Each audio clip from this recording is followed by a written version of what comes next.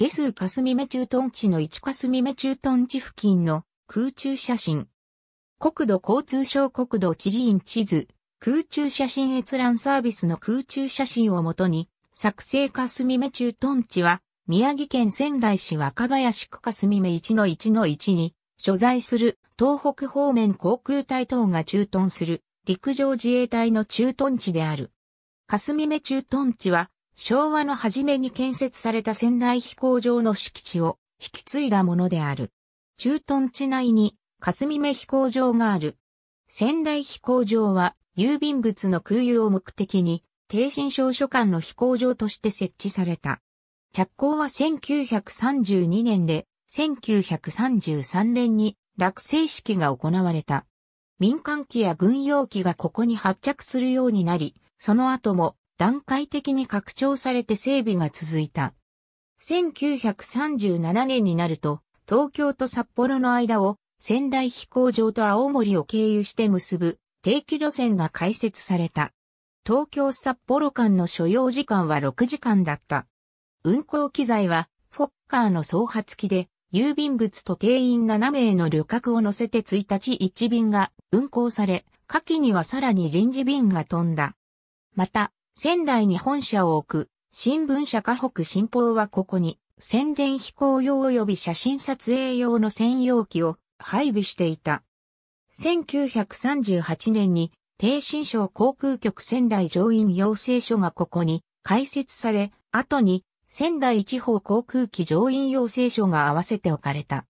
これらの機関は非常時における臨時の飛行操縦士の養成を目的としたものであり、訓練生の衣食住はすべて国費で賄われた。訓練生には軍隊と変わらないような課題が与えられ、修了者は6ヶ月間、軍隊に入隊して、さらなる修練を積んだ。この期間が終わると、陸軍に入った者は、五長として、海軍に入った者は一等飛行兵装として除隊し、民間の航空会社に入社するか、あるいは高等航空機乗員養成所へと進んだ。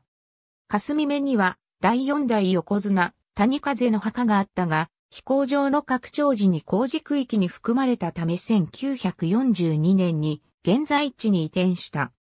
太平洋戦争中の1944年に仙台飛行場は陸軍の管轄下に移り、仙台陸軍飛行学校仙台教育隊がここに置かれた。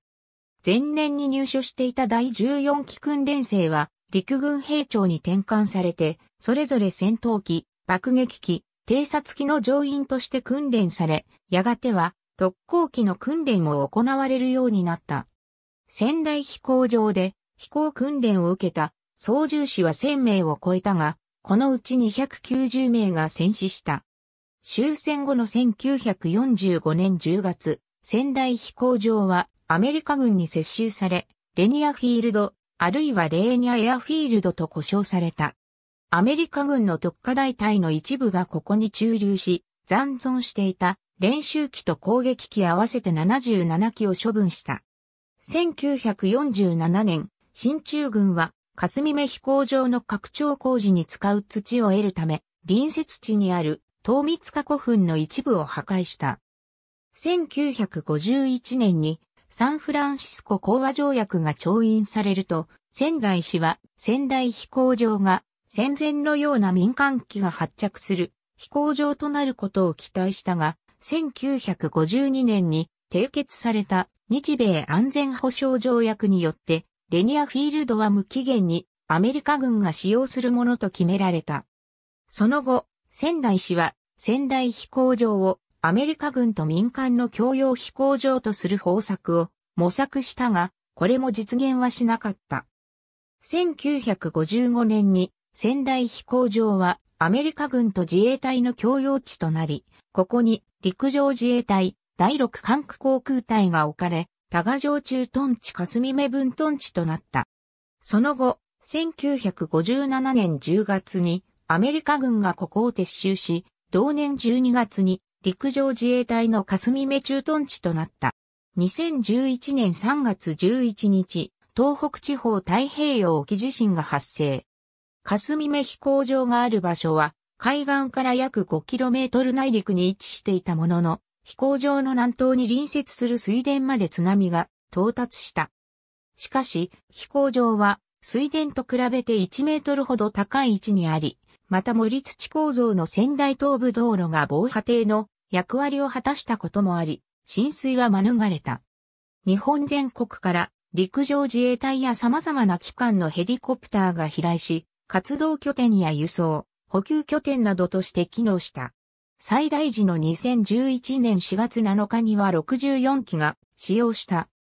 同地震に伴う津波で仙台市消防ヘリポートが使用不能になったため、同ヘリポートを基地とする宮城県防災航空隊及び仙台市消防航空隊は霞目飛行場に移転。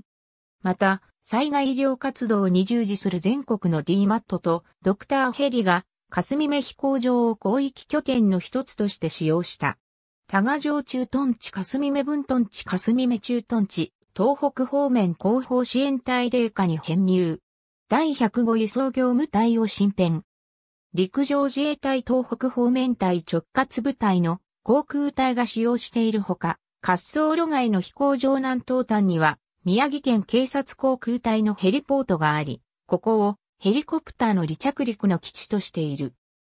滑走路以外の広大な芝生では、休日にはグライダーの滑空場として市民にも利用されている。